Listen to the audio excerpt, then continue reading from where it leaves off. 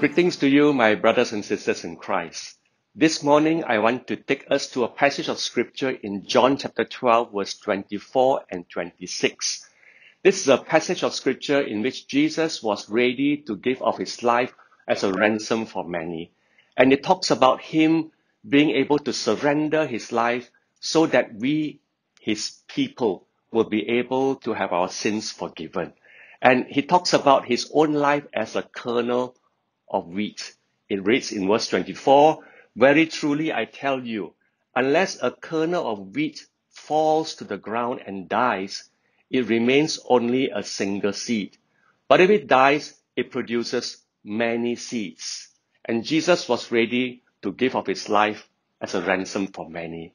And he continues to say, Whoever serves me must follow me. And that's a very powerful and challenging statement. He says, for all of us who wants to serve Him, we must follow Him. And if we begin to ponder about this in our lives as a single wheat, a single kernel of, of, of wheat, a single seed that falls to the ground, that surrenders to Him, out of our lives, many, many new seeds will form. And this is the path of discipleship. You know, surrender is very much part of the heart of discipleship. Surrender prepares the posture of our hearts to follow Jesus. And surrender is an essential part of what it means to follow Jesus. If you serve Him and you do not surrender, it is only the futile effort of man. And therefore, when I ponder upon on my own life, when I came to the place where I was 55, and I wanted to understand how God would take me forward in the days ahead. And I prayed, I waited upon God, and I wanted to find myself a mission statement. And you know why? Because I wanted the years ahead that remains to be productive. And this is the statement that God has impressed upon my heart. It simply says this, the fruits of my life will grow up on other people's trees. Well, it just simply says that I would need to focus on other people. So it's not about me, it's about other people. And not only on that, but I need to invest so that they can grow. I need to water, I need to care, I need to help the tree to be strong so that the tree in other people's lives will be able to grow and, and also in order that they begin to bear fruits how wonderful it is in the days ahead that we see people around us really being blessed and bearing fruits and, and, and being able to be so wonderful for the kingdom of God. And it is something that is of an inspiration and encouragement to me, even as I move in the years ahead, because clarity of purpose, clarity of understanding what it means to surrender our lives as a posture of our hearts ready for the days ahead. It's very much the posture that God will ask for a disciple to be at. And as we begin to surrender our hearts and uh, surrender our lives, I want to share with you three areas of surrender that God has enabled me to understand.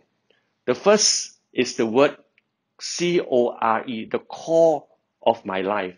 It, the core of my life is really the engine of my life. Meaning to say that from there, the core tells me what my passions are. What are the issues and causes that keeps me energized? What are the things that fires me up when I come out of the bed every morning? And, and to find that cause and that passion is to be able to uh, live and to die for is something that is very, very powerful. And, and I, I, I remember when I was in uni as a young man, uh, for whatsoever reasons, God placed into my heart a passion for the body of Christ. And ever since uh, the uni days, that has always been the passion that God has given to me. And so, as part of the journey, I surrender this passion to Him to be able to be His vessels for the body of Christ. And, and obviously, as part of the core is also my strength. The things I've become good at over the years and the training and experience that I have the spiritual gifts and the skills and the aptitudes that God has given to me as part of my DNA and things that I naturally will be strong at. You know, we could use our strengths to do A, B, and C and D and many options, but because of this mission statement that God has impressed upon my life, the strength are surrendered to Him for the body of Christ. And that's, to me, is the, the mission statement that God has given clarity for me in the days ahead. And I've, uh, uh, after I've reached 55 and beyond, I'm not 55, but I'm beyond that. But it's a great journey to be in, to be able to find that the core of my life is able to be poured out uh, in as possible way as as as sharing uh, and ministering to the body of Christ. The second C that I want to share with you is the the C of capacity. Capacity is about how we spend our time. You know, if we spend our time all by ourselves and and focusing on our ourselves and or even focusing only on our families, we will end up not being able to have anything left to give to others. And so in the capacity that I have, I, I want to find time, the margin that I have in my calendar and, and see how this can be given to the body of Christ. And so I think, I think even now it's a, a busy day every weekday, but because of the mission statement that God has given to me, the capacity that I have, I need to find the margins to be able to honor and serve Him and the body of Christ. And so that we need to find our own calendar and to discover and pursue our calling. Because if you do not allocate the time and create the margin, we will not be able to serve the Lord. And also the resources that God has given to me, it is placed for Him to be used and, and to be able to find how we could use this to bless the body of Christ. And, and the capacity that I have also depends on the spiritual overflow that I have. You know, as, as serving God in different ways, we need to keep our spiritual tanks full so that it comes out as overflowing.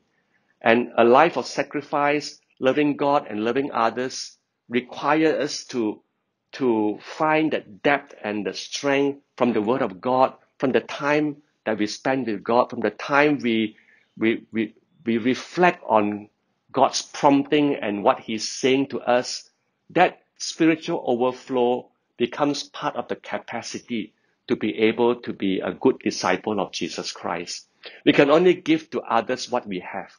And so as in this journey of discipleship, I trust that God will speak to us about allowing Him margins in our lives, to put aside an important part of our lives to be given to Him, to surrender, so that the seed in our life will fall to the ground, and because it falls to the ground, many seeds will come forth. And then to use our resources and to be able to be in a place where there is a spiritual overflow. If we do not have that capacity to overflow and our spiritual tanks are empty, we will really over time run empty. And so, my brothers and sisters, as a disciple of Jesus Christ, we need to fill our tanks with the presence of God, the Word of God, the time with God, and the reflection and understanding the heart of God as a disciple. The third C that I have seen in my life in the way to serve is the word content. The word content is where you would serve. Where would you find your, your passion and where you will find your resources to put at. And for us, as believers of Christ in FGA, I trust that that content will be for you and I to serve in the body of Christ in FGA. In different ways of service, in the life groups, in the home fellowship. But the point is we need to come to a decision where we would serve. Whether you would stay and serve in the home fellowship, whether you would join another ministry, or whether you would start a new ministry. But we all have to be able to find the content in order for the tree in other people's life to grow. And our lives also to be a tremendous blessing because if you pour out your life, others will grow. You know, serving Christ is uh, is not about following our own needs. Serving Christ is not about following our strategies, but it's in this verse 26 says, whoever serves me must follow me. It's about following Jesus. Serving is about following Jesus. And such a tremendous journey as we begin to find the content in which we can serve. So for me, this mission statement of how it would be that my life will be a blessing so that the fruits of my life will grow up in other people's trees require me to consider my core, my uh, capacity, and my content, and to be obedient to follow this in surrendering to Him. I just want to end uh, by saying this uh, and reading to you this powerful verse in verse 26 again. It says, Whoever serves me must follow me.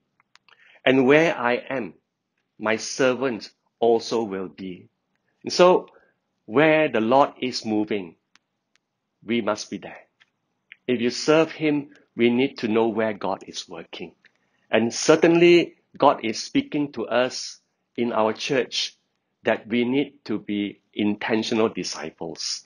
Not just disciples for ourselves, but to be able to disciple others, to walk with others, so that we, our lives will be like a kernel of wheat that falls down on the soil, and as a result, many seeds will fall. And as we begin to do that, God says at the last part of verse 26, it says, My Father will honor the one who serves me. Honor is not from man. Honor is from our Heavenly Father. At the end of life's journey, we want to be uh, faithful servants how to be a faithful servant is to follow Jesus. And I trust that in this season where all things seems very difficult, all things seems to be changing all the time, all things seems to be uh, negative and, and so difficult and challenges to our circumstances. I pray that you will be encouraged that as you follow Jesus, God will honor us. As we serve Him, by following Him, God will come and honor us in our own different circumstances. And that is His promise. So may God bless you, my brothers and sisters. Amen. Amen.